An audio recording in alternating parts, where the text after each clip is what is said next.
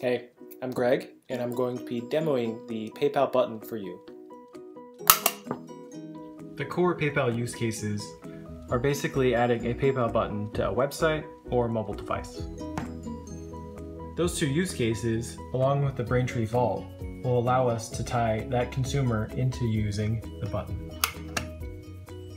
The button can be used over Wi-Fi, over 3G, and using the Sigfox network. The button turns green when successful, and red when there's a failure. Like we mentioned earlier, really all that needs to happen is the customer needs to buy something from the merchant's website using Braintree. Here, this demo, we'll buy a camera and some spices. We can either check out with a credit card or with PayPal. And either way, we'll still be in the Braintree vault.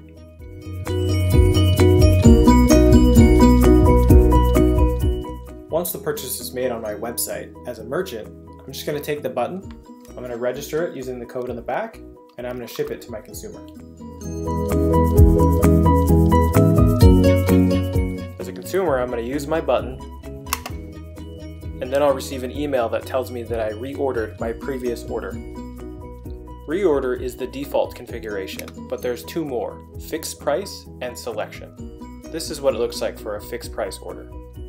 For the selection use case, this time when you push the button, you'll be presented with a list of possible items, where you can select your previous order to repurchase something that you previously bought, in this case camera and spices, or maybe just a single item from the merchant's inventory, for this case, spices.